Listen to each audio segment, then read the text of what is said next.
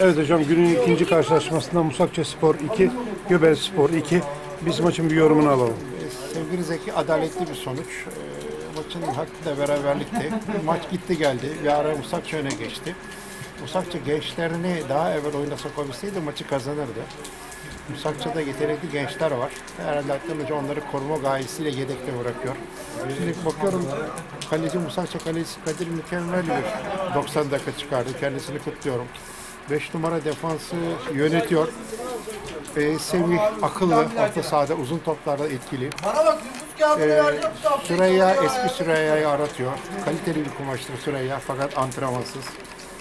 Ee, Erdinç sadece gol attı. Erdinç'in mutlaka idmanlara çıkması şart. Ee, o kiloyla 9 ve 11 numara eksik oynattı Musakya Spor'u.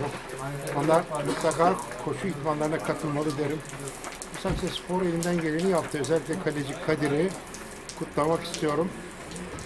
Daha sonra oyuna giren Arda genç yetenek girer girmez penaltı yaptırdı. Takımla ateşledi. 2-1 öne geçtiler ama 2-1'i koruyamadılar. Biraz daha akılcı olsalar maçı kazanabilirlerdi.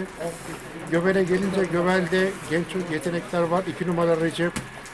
Onun yanında gol atan 11 numara, ikinci gol atan Vedat 11 numara. Kaliteli çocuklar. 10 numara Deniz, 7 numara Emre iyi futbolcu olmalarına rağmen bugün vasat yok 90 dakika çıkardılar. 5 numara kaptanları da tecrübeli. En iyi 9 numara Serkan'ı buldum. Serkan gerçekten iyi bir kumaş fakat itmansız. Göve iki itmansız takım mücadelesinde haklı bir sonuç ortaya çıktı. Her iki takımı da bu şartlarda yaptıkları mücadeleden dolayı tebrik ediyorum.